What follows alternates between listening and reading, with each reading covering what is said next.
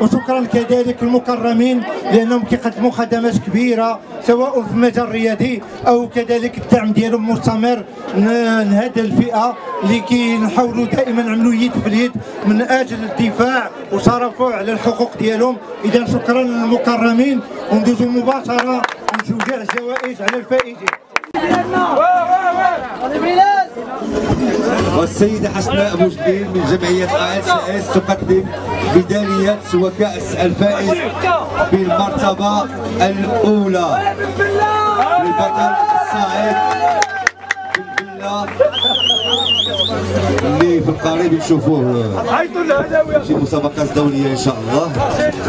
ولما لا الحصول على تكريم الحاملة للصدريات رقم 226 صاحبة الصدرية رقم 226 السيدة جميلة في المرتبة الثالثة الحاملة للصدرية رقم 45 الصدرية رقم 45